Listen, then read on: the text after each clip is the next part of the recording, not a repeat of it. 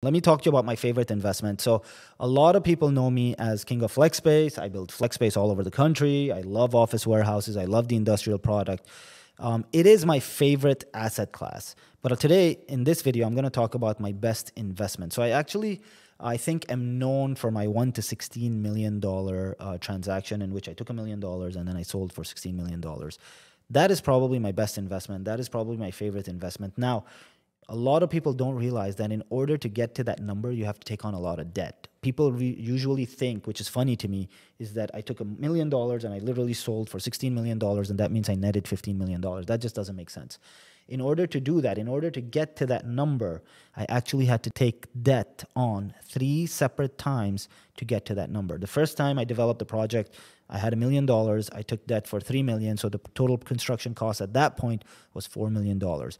I then reappraised that project. Uh, I think it appraised for like six million or so, which means I had a little bit of equity built into the development. That is when I was able to take on more debt to continue the development, and I did so until I was able to continue it, finish it, finalize that project, and then exit out at 16 million. Now, in reality, I didn't even exit at 16 million. I exited prior to that uh, because I got an offer that was just too good to refuse. So I, I didn't even complete the development all the way to 16 million. The new buyers then, of course, con- continued it. And today that development is worth well over $16 million because they took the added risk that needed to be taken in order to complete it and develop the area around it.